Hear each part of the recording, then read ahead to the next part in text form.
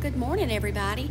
Today that we're looking at um, how, how to com- we're comparing and contrasting solutions for reducing the impact of catastrophic natural earth processes for humans. So, in other words, whenever we have bad weather, such as uh, a flood, tornado, um, this can be fires, more fires. This could be a, could be a tsunami, could be um, tornado, anything like that. Any kind of natural disaster. We've all had serious events to happen near us, serious events as in natural disasters. We've all seen it or been a part of it. Maybe a tornado. I don't know if you guys remember when tornadoes have been through or if you, we've ever had to evacuate. If you, I don't guess we have in the state of Alabama, but or where we live at anyway. But maybe you've lived somewhere before and you had to uh, evacuate. That means leave your home because of a hurricane or a earthquake or some type of natural disaster that was coming through. Lots of people in California, for example, they have to evacuate because of forest fires. There are some natural processes on Earth that can be devastating, that can have devastating effects on human life. Catastrophic natural processes may not often occur, but when they do occur, they can be very devastating. Fortunately, humans are finding ways to help reduce the impact of these processes when they do occur. Now we've got one, two, three, four different things that are happening in our world to help us prepare for natural disasters. All right, so we have awareness, and that just means um, we have weather drills at school. We can have uh, tornado drills. The media can make us aware of what's going on around us. They can, uh, you know, send out special bulletins and alerts that, and this spreads the news quickly there's just not much that we can do to prevent the natural processes from happening, but we can reduce the effects that happen whenever they do happen. Many times, weather related processes occur in the same areas over and over again. For instance, in, uh, in Tuscaloosa, over and over and over, they have tornadoes, and it just kind of wipes everything down.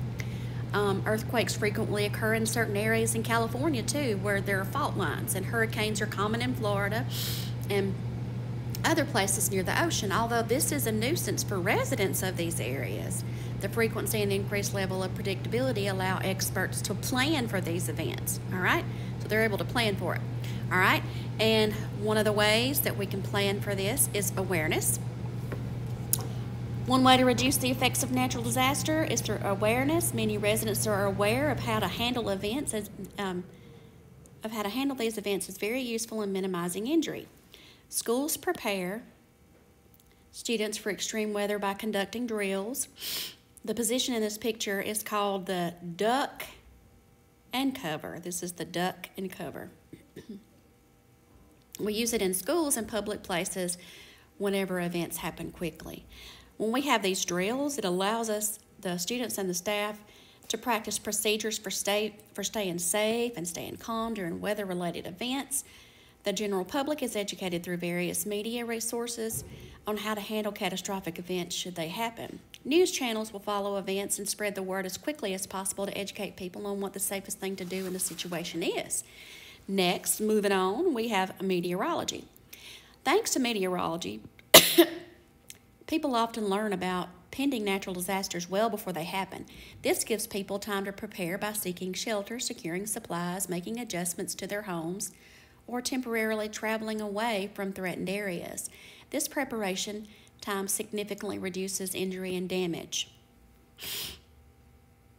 Structural provisions. In areas where there are earthquakes that occur,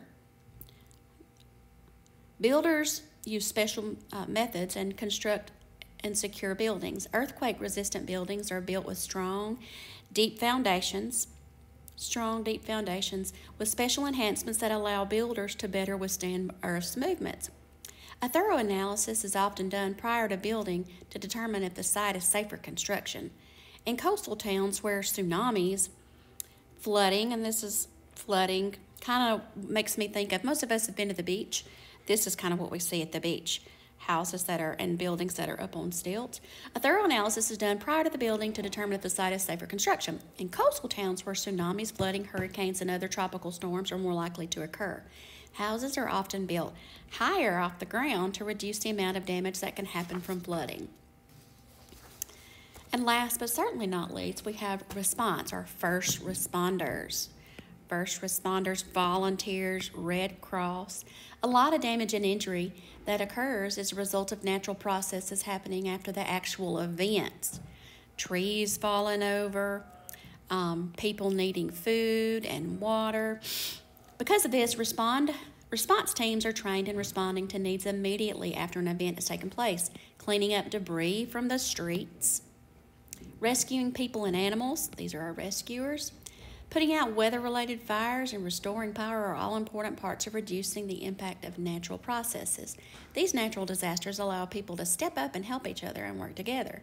People in other areas can come to help public officers with the aftermath and bring supplies that are needed.